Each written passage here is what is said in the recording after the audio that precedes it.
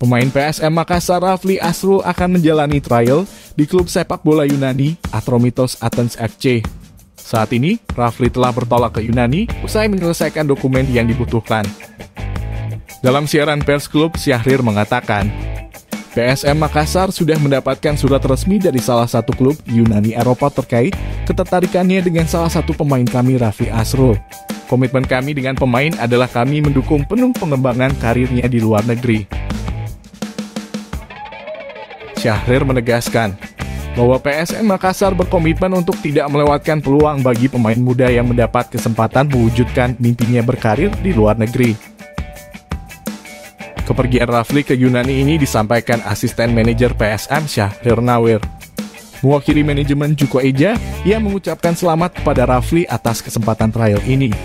Ia mendoakan yang terbaik untuk pemain jebolan Akademi PSM Makassar itu.